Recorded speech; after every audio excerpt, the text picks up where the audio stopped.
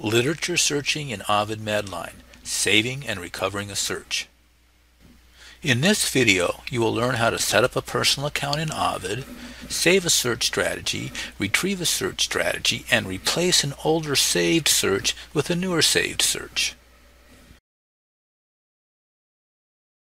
Once you've put all this work into constructing a search, you might want to think about saving the search history so that you can retrieve it at a later time. To do this, click on the Save Search History button. If you have already set up a personal account in Ovid, you can simply log in with your username and password. If not, you will need to set up a personal account. It's free, and the way to do it is to click on Create a New Personal Account. This personal account will work in any Ovid database and not just in Medline. You will need to fill out each box with an asterisk next to it. When you assign yourself a password, remember that Ovid is pretty picky about what you include in your password. It has to be between 6 and 8 characters, and they can only be letters or numbers. Once you have set up a personal account, you can log in using your username and password. If you forget your password, you can get a new temporary one from Ovid by clicking on Forgot Your Personal Account Password.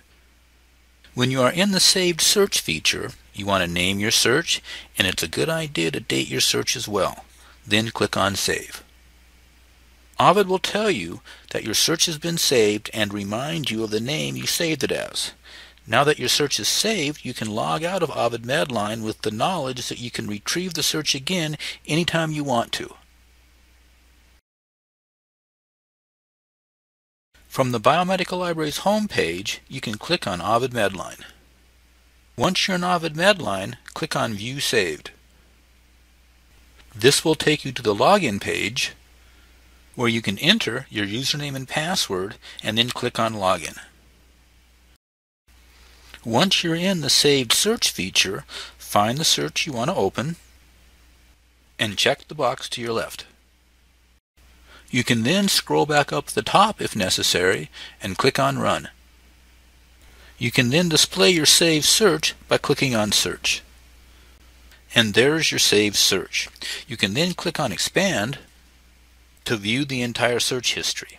You can then click on Contract to shrink the search history back down. Say you wanted to add another term to your search, flute for example, then combine it with music therapy. If you wanted to save this new search under the same name, you would need to replace the previous search. To help prevent accidentally overriding a previously saved search, Ovid gives you a warning.